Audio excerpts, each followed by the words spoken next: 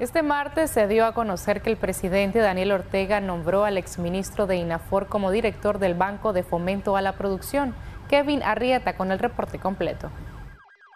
A través del acuerdo presidencial 26-2022, el presidente Daniel Ortega dejó sin efecto el nombramiento del representante privado de la costa caribe, Leslie Ircoe Hobson, como director propietario del Consejo Directivo del Banco de Fomento a la Producción, contenido en el acuerdo presidencial número 98-2021, con fecha 17 de mayo de 2021, publicado en la Gaceta Diario Oficial. En sustitución fue nombrado William Schwartz Cunningham, quien hace el 2016 fungió como director del Instituto Nacional Forestal INAFOR. Schwartz Cunningham es originario de Bluefields, fue miembro del gabinete de gobierno desde que el presidente Daniel Ortega regresó al poder en el 2007. De 1990 a 1997 se desempeñó como secretario político regional del Partido Frente Sandinista de Liberación Nacional y secretario político municipal de 1988 a 1990 y de 1997 al 2002 fue diputado ante la Asamblea Nacional